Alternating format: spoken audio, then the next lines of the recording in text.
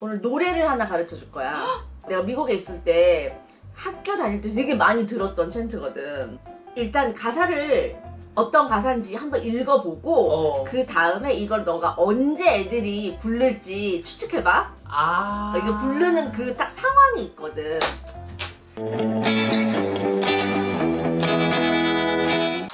John and Mary sitting in a tree. 응. 존하고 메리는 한 나무 위에 앉았다. 응, 응. K-I-S-S-I-N-G 키스하는 중이다. 어. First comes love. 응. 첫사랑이다. No. First 처음은 comes 온다 사랑이. 처음엔 사랑이 옵니다. 아, 처음엔 사랑이 온다. 응. Then 음, 그리고 나서? 온다. 하, marriage가 온다. 어, 그 다음에 결혼이 결혼이 온다. 온다. Then 그리고는 baby가 온다. 음. 그리고 in a baby carriage.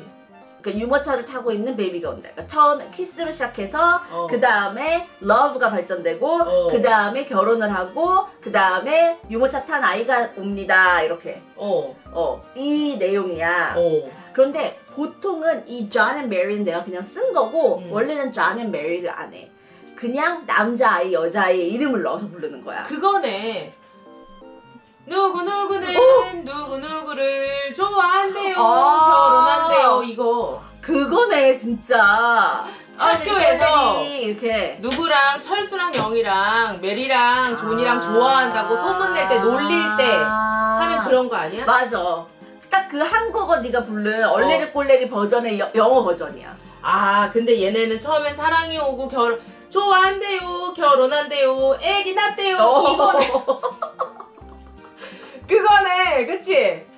근데 이거 어느 학교나 어느 지역이나 어디를 가도 세대를 거쳐서 이 음을 알고 있어 그래. 그 느낌인 거잖아 맞아. 누구나 알고 있는 거. 근데 한 번쯤은 이 놀림의 대상이 것도 싶었어? 괜찮지 않냐? 아, 요거 John and Mary를 이제 영어 이름으로 넣어서 한번 이거 해볼게. Harry and Taylor 이거를 sitting in 아니고 간단하게 sitting in, sitting in. sitting in a tree라고 하면 안 돼? 어 근데 이거를 발음할 때는 어. 요 G를 거의 안 해. 이렇게 sitting in a tree. sitting 어, sitting. K I S S I N G. K I S S I N G. 어, 이렇게 나한테 하고. 놀림 당하고 싶다. 그다음에 first comes love. First comes love, Then comes marriage. then comes marriage, Then comes baby in a baby carriage. then comes baby in a baby carriage. 그치. 둘이 약간 꽁냥꽁냥 한다. 썸 탄다. 어, 그러면 이제 애들이, 어, 뭐, 철수된 영이 sitting in a tree. K-I-S-S-I-N-G. 그거까지만 하면 벌써 얘네 난리 났어. 막. 아! 아, 이렇게. Mickey and Minnie sitting in a tree. K-I-S-S-I-N-G.